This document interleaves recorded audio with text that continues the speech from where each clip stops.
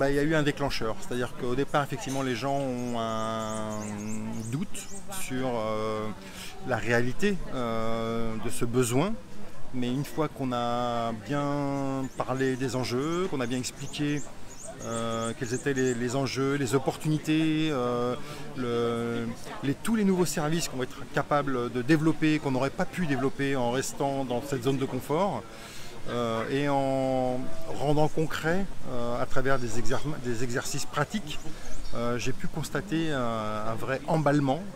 et même des promesses de la part de, certains de ces professionnels qui travaillent dans le monde des opérateurs, qui sont donc en responsabilité vis-à-vis de la fourniture de ce service, de, cette technologie. Et certains m'ont d'ores et déjà promis et se sont engagés à fournir cette technologie d'ici la fin de l'année, c'est-à-dire d'ici six mois. Euh, ce qui ne me surprend pas complètement puisque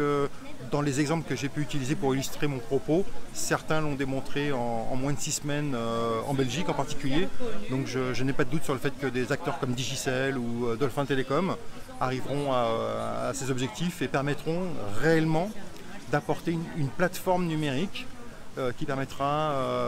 à la Guadeloupe, à la Martinique, à Saint-Martin, partout où ces opérateurs œuvrent, d'offrir des nouvelles opportunités et des nouveaux projets avec des nouveaux usages, des nouveaux services et des, nouvelles carrières aux jeunes euh, euh, Antillais euh, pour se développer autour du numérique.